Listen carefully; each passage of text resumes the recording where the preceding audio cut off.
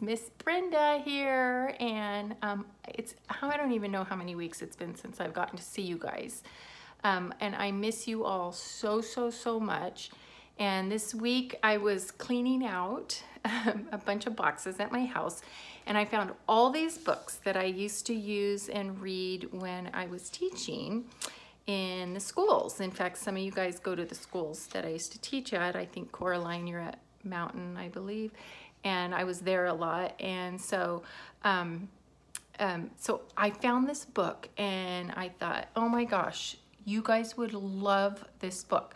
So I am going to read it to you guys. I hope it's not too long. It's really special book to me. And, it, and then it also, there's a scripture I want to read at the end that goes right with the story of the book. And this is kind of something fun. I think that you guys could do in your family. You could do with your group of friends. Maybe when school starts back up, maybe. Um, sometime you guys will get to do this, but I'm gonna try to turn this um, around. I may have to stop it and start it again, but so I can show you the book, okay? Hold on. The Goodness Gorillas by Jack Canfield and Mark Victor Hansen. It's illustrated by Pat Grant Porter.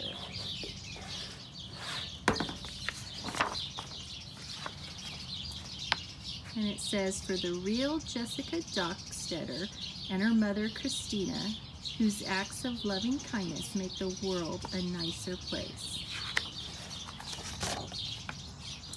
It all started the day Jessica Dockett brought cupcakes to school for the whole class.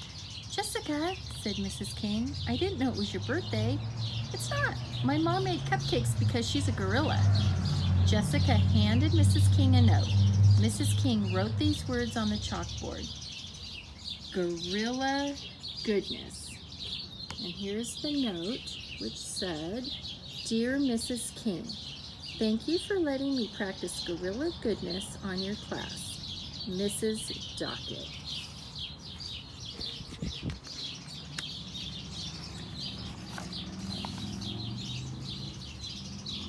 She told the class, we all know what a gorilla is, but this word gorilla means something else. It's a word that people use when they're part of a group that's trying to change something. Like a secret club asked Patricia. Mm, sort of like that. Gorilla goodness means practicing random acts of kindness. That's what Miss Dockett and lots of other people all over the world are doing right now. They're trying to make the world a nicer place just by finding new ways to be extra kind and good to people, even to strangers. You mean Mrs. Dockett makes cupcakes for strangers too? asked Stuart. She might, or she might let someone in front of her in line at the grocery store.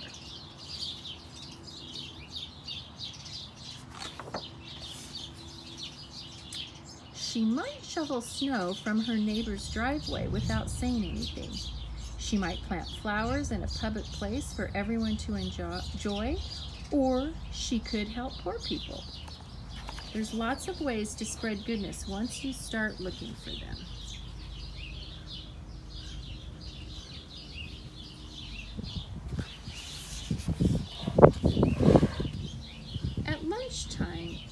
Everyone was talking about gorilla goodness. Real gorillas in the jungle do nice things for each other too, said Tina. I saw it on TV. I know. Let's make our own club, said Michael. Jessica should be the leader since she knows the most about it. And that's how the Goodness Gorillas started. Peter came to school early and sharpened all his classmates' pencils. Everyone smiled and said, thanks, Peter everyone that is except for Todd. He tried to poke Peter in the arm with his pencil's new sharp point. Jessica pulled out a mat for every person in her gymnastics class. What a lovely act of kindness, said her coach. Stuart let his little sister watch her favorite TV show, even though it was his turn to choose the channel. Later that night, his sister gave him the last piece of her Halloween candy. All of the Goodness Gorillas met at the park on Sunday and cleaned up the litter in the park. They were having a great time until Todd showed up with his scary dog Brutus. Todd laughed hard when Brutus nipped at Jessica's heels and growled at all the children. Todd walked over to the pile of cans that the Goodness Gorillas had gathered for recycling. He picked them up one by one and threw them all over the park. Hey, dumb gorillas, go fetch, he yelled. Why does Todd always have to be so mean? asked Tina. The Goodness Gorillas picked up all the cans, but it wasn't as much fun as it had been before. Patricia cleaned her room and her brother's room without being asked. Her dad thanked her and made her dinner. Tina packed up all her toys and her mom helped her bring them to a homeless shelter. I am so proud of you, said her mom. Michael went with his uncle to volunteer at a senior citizens home. A lady there told him, You made our day.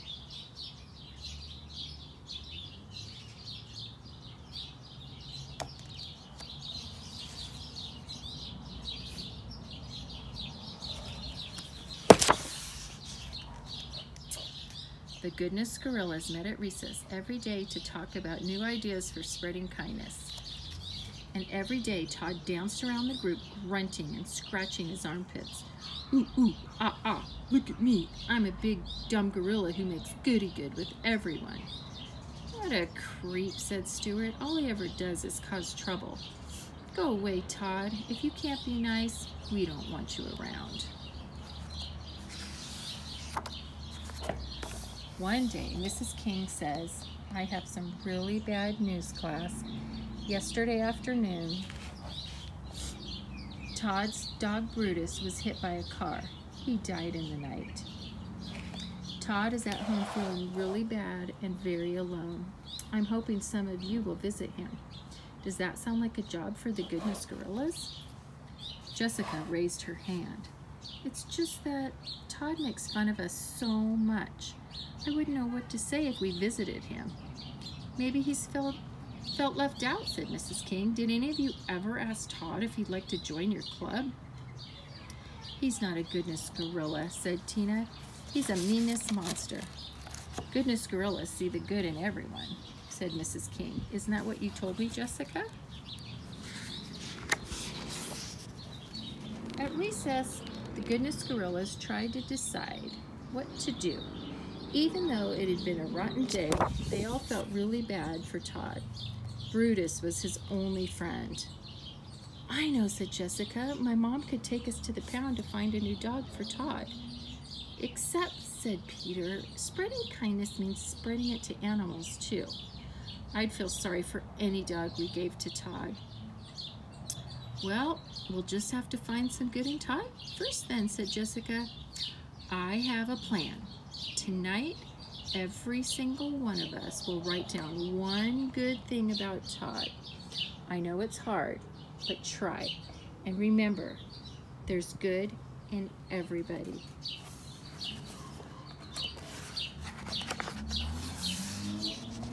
The next day, all the Goodness Gorillas stood on Todd's doorstep and rang the doorbell. Todd answered the door himself. He looked like he'd been crying. What do you want? he asked. We've come to make you a Goodness Gorilla, said Jessica. Todd narrowed his eyes. Why, he growled, looking nastier than ever. Let us in and we'll tell you all the reasons why.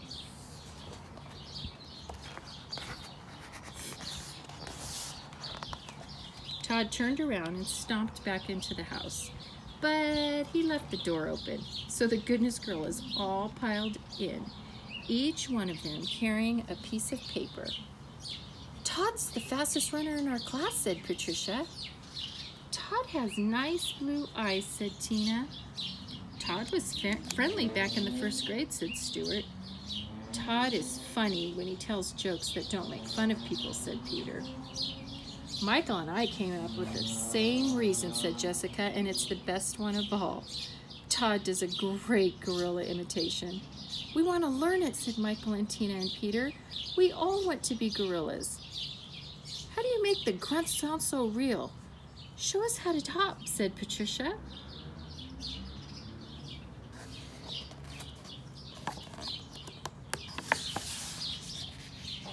Everyone tried to do Todd's gorilla dance while Todd stood and watched them. Finally, he just had to smile and then he laughed. They weren't making fun of him. They really wanted to learn. When he couldn't resist it any longer, Todd turned himself into a gorilla too. Everyone followed his lead. They all grunted and hopped and scratched and screeched until they fell out of breath and laughing into a big heap on the floor.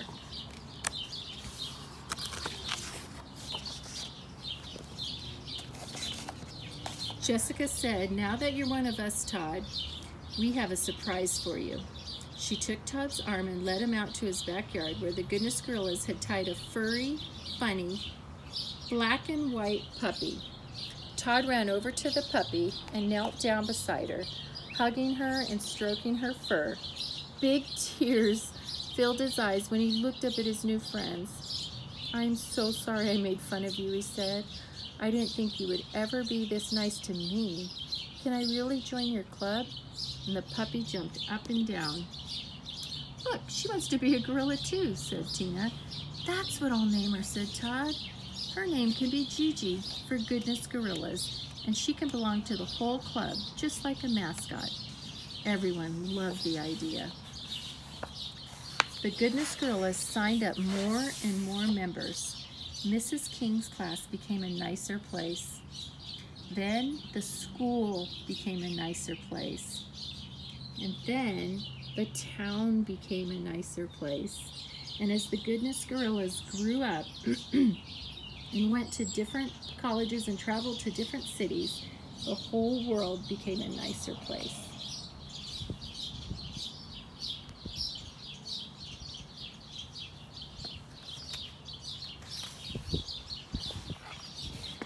And that's the story of the Goodness Gorillas.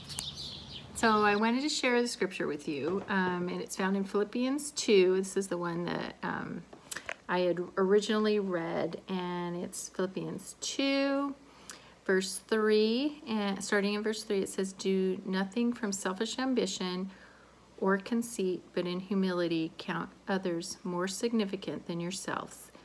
Let each of you look not only to his own interests, but also to the interests of others. Have this mind among yourselves, which is yours in Christ Jesus. And basically, what it's saying is um, just put yourself above other people. Um, like if you're in your family and you see your sister wanting your candy and it's your last piece, go ahead and give it to her. Think of, you know, that's putting her before you. That's being a goodness gorilla, trying to show kindness.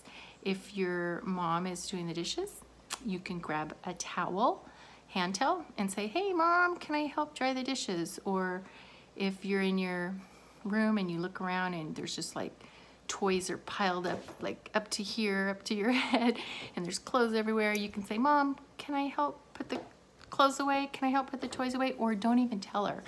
Just do it and she'll walk in your room and she'll be like, oh, what the heck? Oh my gosh. Um, what did she do?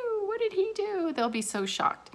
Um, you can, when it's time to take a shower or bath, you could just jump right in there. Just do things that make other people happy and show kindness. You can help your grandma and grandpas do stuff around the house. Um, give your dads a back massage, rub your mom's feet, all kinds of things.